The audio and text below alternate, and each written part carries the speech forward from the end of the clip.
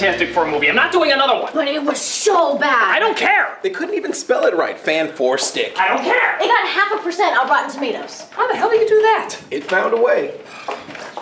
Cowabunga! Ah! Black Nerd? Yes. No, that one. What are you doing in the storage closet? I'm here to do the Ninja Turtle movie review with you and Angry Video Game Nerd, remember? Flashback. I don't care if the nerd is a bigger star. My face should be bigger than his on the title card. Come on, who's a bigger Ninja Turtle fan than me? Hey, Critic, are you doing a Turtles crossover with the nerd? Yeah, sure, come on in.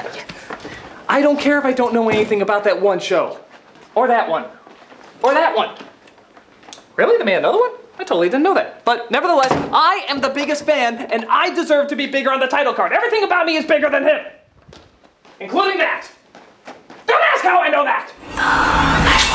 Wait, you've been in the storage closet that entire time? Eh, it's not so bad. I still made videos. Hi, I'm Andre and I'm a black nerd. Today I'm gonna be reviewing boxes again. Yay, boxes! Which you think is better, cardboard or plastic? They both keep you alive if you ever need to eat them. Like I do. I'm so cold.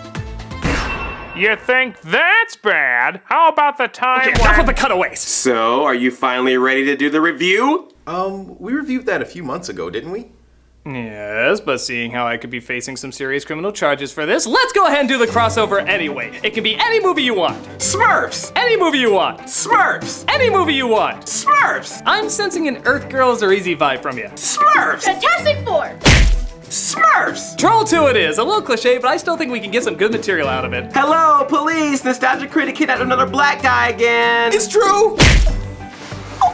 Let's do fucking Smurfs.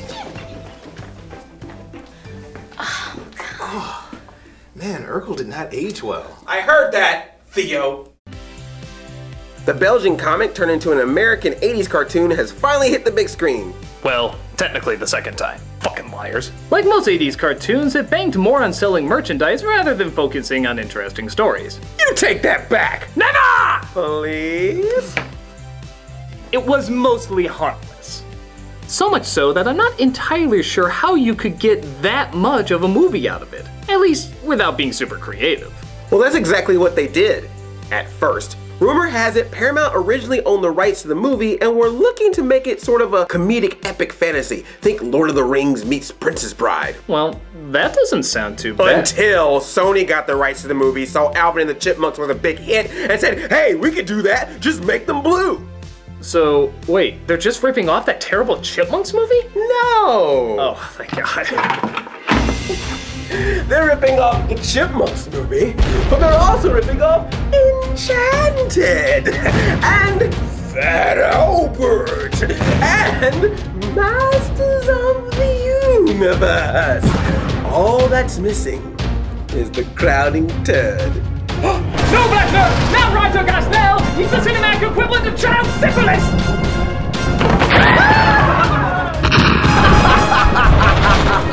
You fool! What have you done? Yes, my satanic setup! Let the world see you for the abomination that you are! Would you like to buy some Smurf merchandise? Evil takes many forms. This is a Smurfs movie. I'll take two.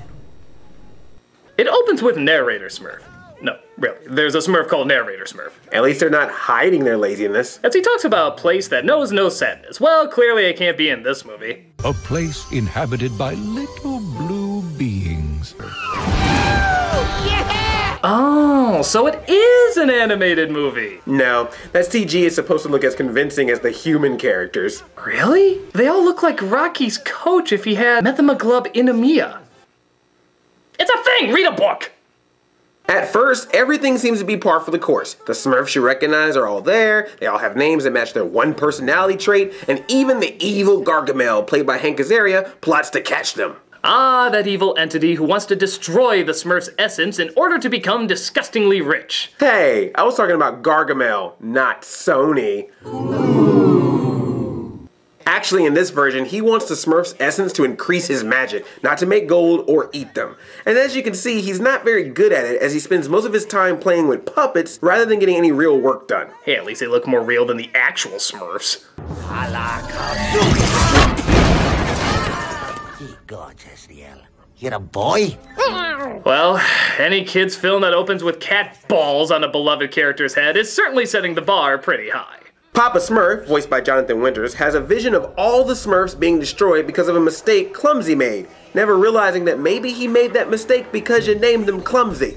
Clumsy? Yeah, it's like naming your daughter prostitute. Are you really encouraging any great things labeling them that? Actually, one of the stranger things is the people they got to play most of the Smurfs. Oh, come on. Celebrity voices are everywhere. Are you really surprised that people like Katy Perry and George Lopez are in this? For the main characters, no. But what if I told you that Pee Wee Herman himself, Paul Reubens, was in this? What? Where? Right there!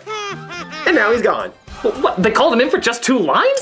he got the deluxe treatment. Half of these celebrities barely even got a word. That was Kenan Thompson. What? There went BJ Novak. Huh? Ooh, there's Jeff Foxworthy. I didn't even hear. There's Wolfgang Puck. Why? Don't miss Joan Rivers. They blew her in for this. And of course, John Oliver's one incredible line. Oh, marvelous. Please tell me he's there to do a report about how this movie is ruining America. I think it speaks for itself. You're right. So Gargamel finally figures out that the Smurfs have kept hidden because of an invisible force field. Yes, we've gone from children's fantasy to Star Trek technology. But some of them stumble across a magic portal. Don't act like you haven't. Where Gargamel has them trapped. Looks like you got the short end of the stick, eh, Papa? Not this time, Gargamel. I much rather sacrifice my life than listen to your heinous performance! Because it makes much more sense to chase six Smurfs as opposed to 94. I don't think we're in Smurf Village anymore. This leads them to where every fucking portal in family films leads to New York City. Preferably the very pretty and or intimidating part. Oh, hey, can we get the photographer over there? There's big arrivals happening. Thanks. Welcome. Uh, why are we suddenly in an episode of How I Met Your Mother? Oh, don't you know? This is Neil Patrick Harris's movie now. What? I thought this was about Smurfs. Well, critic, like most sellout adaptations, the title character rarely has anything to do with the title itself. So instead of being about little blue people, It's about an advertising VP coming to grips with becoming a father. so we're in a romantic comedy that just happens to have Smurfs. Yep. That's like having a Holocaust film that suddenly decided it needs Fraggles. That comes out next week. I hear Oscar buzz. Until we rescue Clumsy and get back home, I need you all to stay close. I know I should be making fun of the product placement, but honestly, I'm just thinking how much better this movie would be if Blue Man Group played the Smurfs. But they wouldn't talk. Exactly! And just when you're wondering if watching a cat vomit would be more fun than watching this movie, the film decides to answer for you. Infinitely more fun. Yes. It's like the Disney world of fun in this movie. Cat vomit! Tawny locks of Smurfette. Oh, oh, sweet follicular ambrosia. Am I the only one getting a bald Moe Szyslak from an unfunny version of The Simpsons? So The Simpsons now. Up high. Oh, I must find the laboratory. This should do nicely. Somebody's been working in dark and terrible magic in there. Is it even worth wasting a joke on that one? No, move on. While he tries to figure out how to get the magic out of her hair, Neil Patrick Harris visits his pregnant beard while the Smurfs try to break in. And this partakes in what I'm noticing more and more in bad family films, especially in Raja Gosnell's films, movement porn. What, you're anti-movement? No, I'm anti-lazy movement. Movement that only exists just to hypnotize your kids rather than engage them. Engaging movement involves a lot of variety. Sharp stops, varying speeds, unexpected turns. This is what makes good visual storytelling. Here, everything is at the same speed, the same pacing, and the same kind of movement. There's no variation, so there's nothing interesting about it. What's more engaging? Watching Mario go one speed throughout the entire game, or having him stop, slow down, go backwards, stomp on things? This safe, boring, and repetitive movement is the same as looking at a watch waving back and forth. They're both trying to hypnotize and relax you so that you don't think about what you're watching. And that's not what a movie is supposed to do. You're supposed to think about it. You're supposed to be sucked in. But this method is an ingenious way to numb your brains without feeling bored. So you think it must be doing something right when really it's just junk food for your mind. And it's all over the movie. Oh, I don't know. I don't think there's anything wrong with a constant source of movement.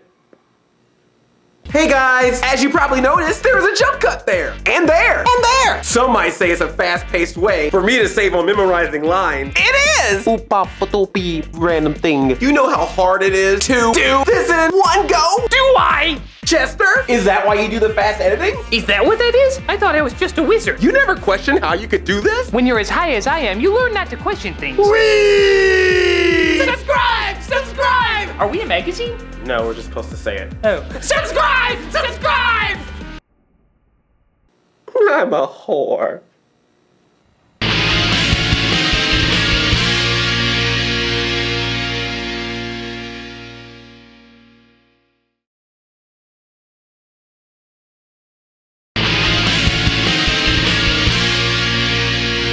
The Smurfs spot talent and decide to attack him.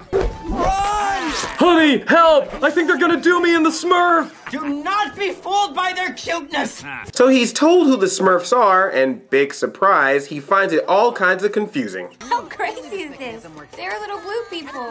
So you're sticking with your this is actually happening theory? That's actually a legit question. I always had a theory that all of this movie was just a continuation of his drug high from Harold and Kumar go to White Castle. No, not even a drug person would go this far without squashing them. You wanna get high? Yeah. Hear that, honey? They're only staying till an actual blue moon rises, which could happen if the little blue Santa man makes a magic potion, which at this point seems completely plausible. I don't think that was in the script. I think Harris was just clarifying how horribly written this movie is. And you're all named after your personalities? Do you get your names when you're born or after you've exhibited certain traits? Yeah. Yep. Oh, I see. So Clumsy has the personality trait of being clumsy, Grouchy has the personality trait of being grouchy, and Smurfette has the personality trait of. Girl. Girl, as we all know, girls just have one personality trait. Says so much about her. Yeah. What? You had one outfit on and now you're wearing something completely different. Oh, Yeah. Smurfette. She probably got the other one dirty. I love how they're shocked that she can wear different clothes, but not that she's pregnant. Having only one female made from nothing, do you think they can even comprehend the idea of a pregnant woman? Yeah, you'd think in this movie they'd go more into how Smurfs procreate. I say wizard. I say artificial Smurfination. I have all the answers right here. Your loss. There's some mighty fine blue balls in here. I had to write on the cover, cause you're not ready yet to see a Smurf get smurfed in the Smurf. One of those Smurfs stands for anus. But like most of Harris's performance, he acts like he wants to get out of every scene as quickly as possible. I had a crazy morning. What are you doing? um, nothing. I'm just, I'm excited. So tell me, Patrick, is that a Smurf in your pocket or you just happy to see me? I need to hone my message here. Oh, how about Grab Life by the Great? Have a Smurfy day. I kissed a Smurf and I liked it. Get it? Stop! Come on. None of you find that song just the tiniest bit annoying. I find it annoying. Did you just laugh at a Smurfs movie? No. Did you just laugh at a Smurfs movie? No. Just remember, every time you laugh at a Smurfs movie, God kills a kitten. It's in the Bible. Huh. I don't know how I missed that. It's in the hardcover. It reads a little different than the softcover. Gargamel uses a Smurf hair to make his magic better, catching the eye of Harris's boss, played by Sofia Vergara. Thank the gods, a chamber pot. Oh my god. This is really happening, people. What do we do? Just look away. I can't, it's too awful. Just close your eyes and imagine one of your kindergarten favorites. It's not pissing into a bucket. Is it working for you? Peyo is rolling in his grave. Me neither. There's only one alternative. Ah, boy, just so much better for some reason. Yeah, me too. But I feel like we're missing part of the movie. Oh, you're right, you're right. Let's rewind that, see what we missed.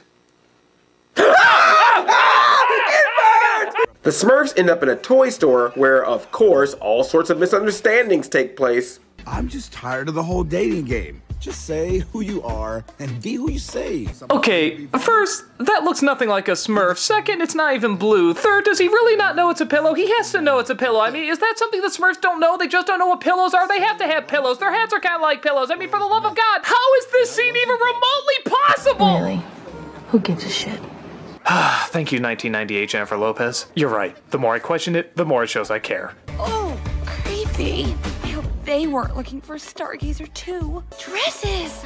You mean I can have more than one kind of dress? Wow, she seemed to get past the impaled heads and supposedly dressed up corpses pretty fast. Must be that defined girl personality.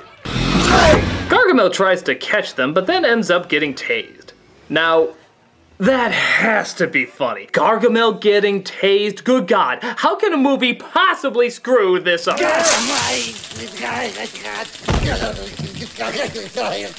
Like that. You couldn't even make Gargamel getting tased funny. He sounds like Professor Frink getting jerked off. Ugh, I don't think we need that image. No, I don't think so either.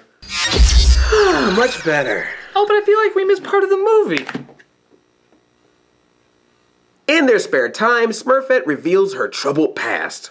I was created by Gargamel to trap the other Smurfs. And then what happened? Papa saved me. He cast a special spell and then helped me become the Smurf I was meant to be. Oh, so much for her backstory.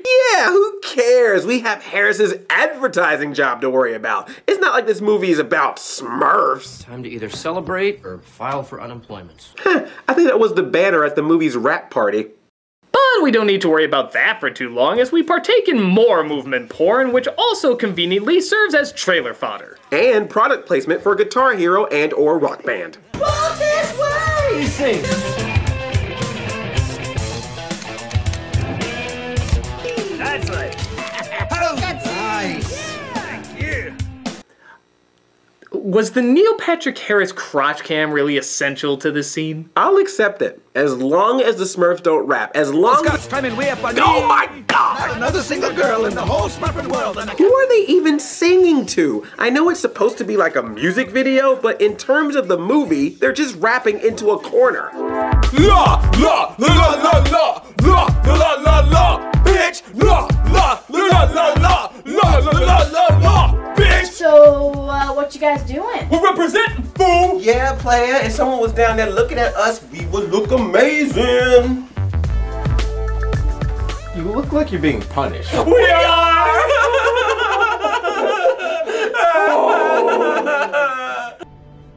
Doesn't it freak you out sometimes? Little guys depending on you? That's what being a papa is.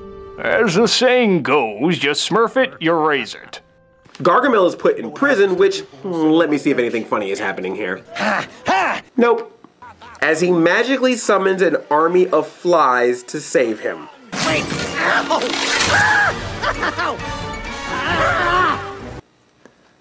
Boy, even by Smurf standards, that's just weird. But it looks like Clumsy accidentally tripped and sent the wrong design to the firm, as most trips do, which means the wrong ad is sent all over town. You said that they would bring good luck? This is anything but good. I never should have let this happen. I never wanted a house full of little people running around. No, it's okay. I only just meant it as a metaphor for the baby. Of all the people on the planet, those magical little creatures came to us. They chose us. Don't you see how absolutely amazing that is? This is a once in a lifetime thing, Patrick. This is our blue moon. Hmm. You know, it's amazing. You are 100% wrong. I mean, nothing you've said has been right. Yeah, Kermit's right. Nobody chose anybody. Yeah, it's clearly just a series of accidental circumstances. I'll give it this, though. It does make me crave Blue Moon. Let's go drinking after this. I think that was a given. But thankfully, Times Square is full of ironic imagery, and he realizes that hammered in messages are good. Meanwhile, at an old bookstore, the Smurfs are looking for a book of spells, which seems to be, weirdly enough, a Smurfs comic book. The secret runes are hidden in the drawing. You see all that in there? Look here at the patterns on this page. So wait, Peyo wasn't just a cartoonist, he was also a dimension jumper? Or was he a time traveler? Didn't this all take place in the past? Kinda? And upon his discoveries, all he did was make cartoons about it? I never thought I'd say this, but Smurfs, you're kinda hard to follow. Gargamel tries again to capture them, but Papa Smurf stays behind to get captured. Why? He could have just escaped with them. Well, then it wouldn't feed into the Papa sacrificey talk that they had earlier. That doesn't mean you get purposely caught for no reason. Doesn't it, Black Nerd? Doesn't it? No! Well, the director of Beverly Hills Chihuahua says it does, so shut it! Have you seen Beverly Hills Chihuahua? No, have you? You are part of the problem. But they get the portal to open up and bring tons of Smurfs back to save Papa. Yeah, that doesn't really work as a war song. It sounds more like a lullaby from Donald Trump. Hmm. An angry horde of people holding weapons, chanting, and wearing pointy white hats. For some reason, I feel very uncomfortable. While that's going on, Papa Smurf is being put through a machine to extract his essence. No. Onions!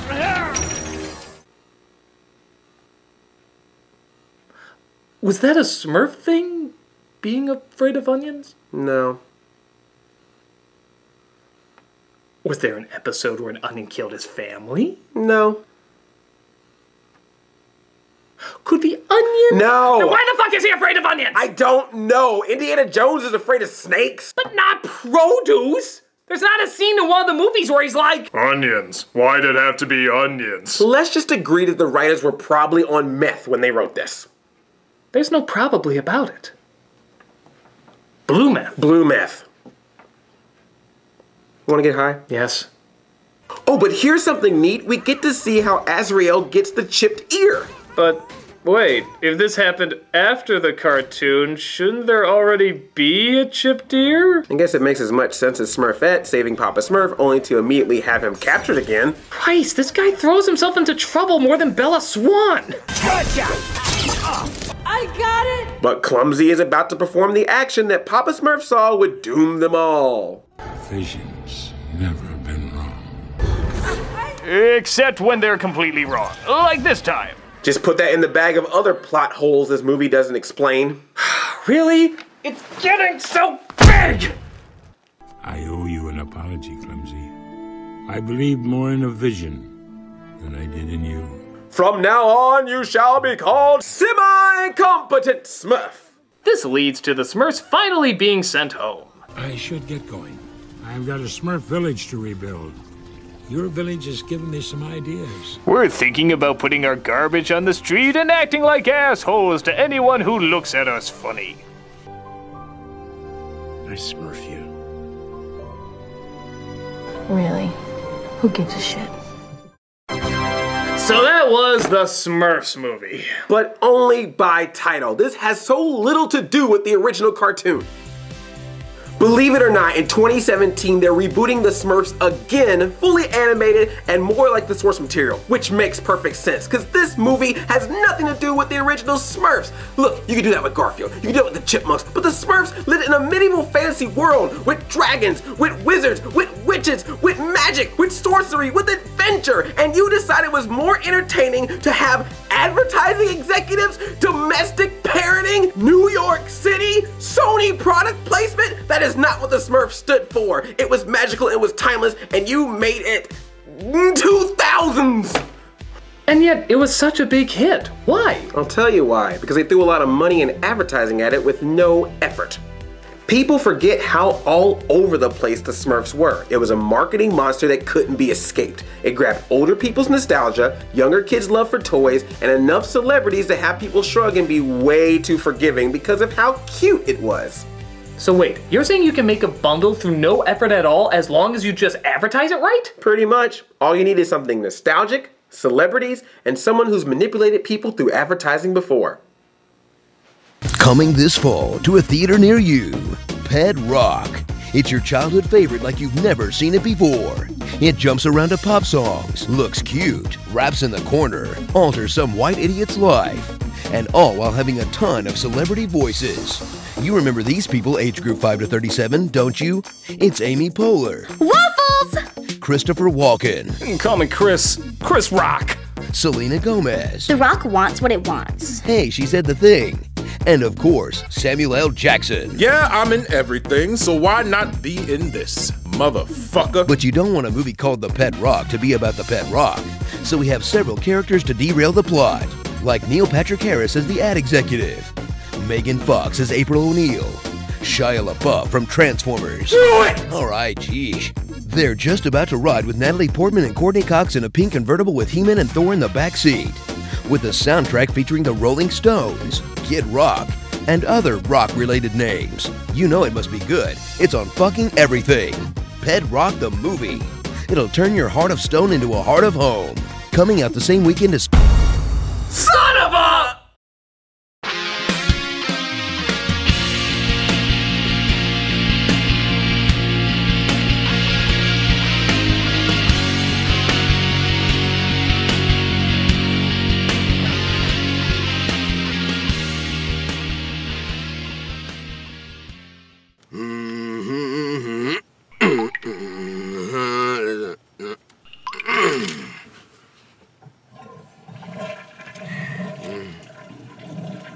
Is that camera still on?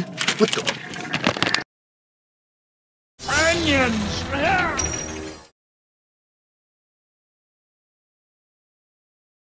Hey guys, Doug Walker here. Uh, you know, every time I do a Nostalgia Critic, a lot of people tune in, and I really want to do something good with that. And something I want to try that's kind of new is that I want to give a shout out to certain charities that I think are really worth your attention and really worth your support. So I'm going to do that at the end of every video now. I'm going to give a shout out to uh, some really special charities, preferably ones that I know something about or have had some contact with.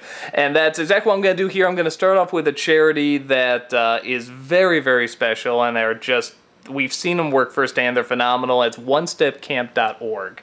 And this is a camp for children who have cancer. Here at, at this camp, you're, you're just a regular kid and you can just feel like a regular kid and we've seen it firsthand because you're not seen as anyone different. You're, you're, like any other kid and all these kids come together and they share so many incredible experiences and uh, i remember we were there on the last day it, it was, there wasn't a dry eye in the house. I mean, it was just seeing all these kids come together, just having fun and hugging each other. I mean, they're, they're saying goodbye and they're saying goodbye to each other, and it was just, it was the most heartwarming thing you've ever seen. I mean, it's just incredible, and these people do such great work. So if you have the time, uh, definitely go check out their website. Uh, and check out the wonderful things that they do. We've done uh, charity drives for them before, and uh, we talked to them in person. They're just phenomenal people, and they are definitely worth your time to check out.